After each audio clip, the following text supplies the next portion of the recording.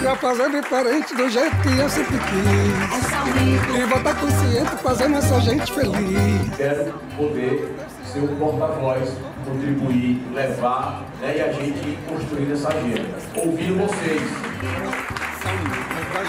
Em determinada oportunidade, estivemos numa longa conversa na Câmara de Vereadores a respeito de cultura e de lá sair surpreso com sua sensibilidade, com sua visão muito ampla nesse sentido. Foi um discurso claro, objetivo é, e que atende em cheio às necessidades do ambiente da cultura, que tem uma voz tão difícil de ecoar.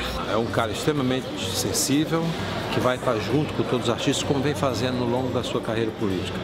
Salmito, sem dúvida nenhuma, vai continuar com a gente com as ideias que ele defende, com a experiência, o conhecimento e a sensibilidade, ele estimula na gente o sentimento de pertença que existe nas artes e que forma a nossa cultura. Um jovem comprometido com a cultura do Ceará, com, com com, assim, com o empenho que ele tem para fazer isso acontecer e a gente acredita que ele vai conseguir fazer isso. Nós precisamos de um representante da cultura cearense e para mim o Salmito é o cara. Salmito, Salmito, é dos 500, Salmito, Salmito, é dos 500. Salmito, Salmito, dos 500, Salmito, Salmito, dos 500.